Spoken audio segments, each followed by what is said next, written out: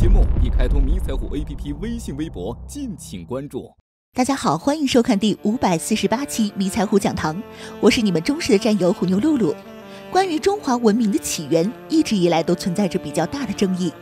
最近，国新办召开新闻发布会，首次公布了中华文明探源工程的研究成果。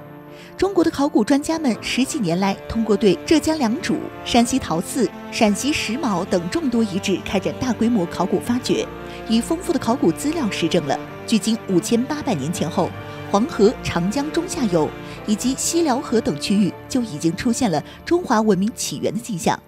这次的研究成果还将编入中小学教科书，未来还将建设国家考古遗址公园。欲灭齐国，先灭其史。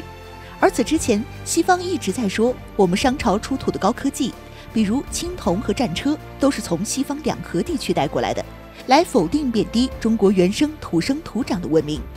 其实，距今大约有三千八百到三千五百年的二里头就有车辙遗址，说明造车技术不是来源于西方。战车方面，中国的玩马技术是优于西方的。青铜器方面，外来的可能性也很小。中国青铜器的配方和成分与西亚不一样，早在新石器时期就有了红铜铃文物，五千年前就有了青铜刀。同一遗址甘肃马家窑附近还有铜渣等铸造残留物，说明中国青铜器都是在当地铸造的。但是西方现在主流的理论就是用西方的观点来解释东方中国的历史，用他们的话说，这是国际标准，更是国际惯例。因为中国极为详尽的历史记载，已经把国内外的考古工作者给惯坏了。对于商朝以后的考古工作，中国能找到详细的文字记载和遗址文物对照，而对于夏朝来说，缺少文字记载，自然就成了问题。一直以来，西方学界在历史研究上对西方历史一般采用推论，既没有准确的历史记录，更没有准确的文字记载，也就是历史最可能是什么样，就推测是什么样。再加上一些神话故事佐证，又有一点差不多的证据，就可以成历史了。然后一年一年的不断添油加醋，谎言重复一千遍也变成了真理。就拿米诺斯遗址来说吧，这个名称来源于古希腊神话的记载。米诺斯王国类似于夏，不同点在于夏更真实一点，米诺斯更虚幻一点。当西方人在古希腊发现遗址时，首先地点就对不上。因为古希腊的记载根本就没有相对准确的地点，其次时间也对不上，因为古希腊的记载也根本没有相对准确的时间，遗址里面更是没有发现了米诺斯王国的文字和记载，但是这个遗址被命名为米诺斯文明并广为流传，因为西方的经济优势和强大的话语权演化为他们在制度上、政治上以及文明上的优势，认为西方希腊文明就是高于一切文明。对于中国历史，也采取有罪推定的证据论，必须要有百分百的证据，所有史料完全对应，才勉为其难承认你一段历史。但凡找到一点点和西方不一样的地方，就吹毛求疵，百般挑剔。相比之下，自古以来中国的历史文献就有关于夏朝的记载。我们的祖先早在先秦典籍《尚书》中就记载了高陶模干氏的事件。西晋出土战国时期魏国史书《竹书纪年》。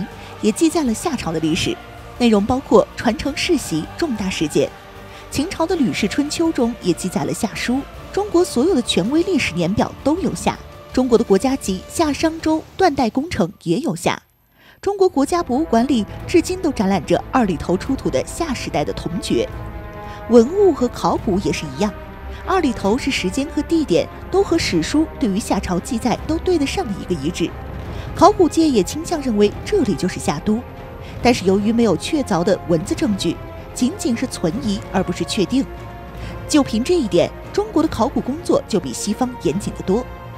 前几年，中国考古学家在二里头遗址其中的一座墓葬出土了一件珍贵的绿松石龙，它的长度有六十四厘米，大概有两千多片绿松石片镶嵌。这次的发现震惊了中国考古界，难道咱们的祖先真的养过龙？夏朝真的存在吗？微信搜索“米粉防务”，关注我们的公众号，回复关键词“龙的传人”，一探究竟。而这次咱们的考古工作者就在陕西榆林市神木县挖掘出夏朝的特大城池，构建非常复杂，而且面积顶上半个榆林城。原始部落绝不会是这个样子的。诚然，对于东西方文明的比较，毫无疑问并无优劣之分。正如人无论贫富贵贱皆平等。对于中华文明的起源和早期那段没有被文字直接记载下来的历史，到今天，我们已经可以对这段历史进行描述，从而填补了历史上这一关键时段的空白，填补了世界文明史上的空白。所以，不管你西方承认或者不承认，夏朝就在那里，中华文明就在那里，不生不灭，不悲不喜。对于世界上唯一一个历尽沧桑与苦难却从来没有中断的中华文明，我们有自己的文化自信。最后，虎妞推荐一款好玩的战争策略游戏给大家。游戏中，玩家将通过文明进化，带领人类走向工业发达的核等时代。游戏风格写实，画面优美。请打开手机应用市场，搜索“迷彩虎军事”，下载我们的官方 APP，在游戏中体验人类的漫漫进化路。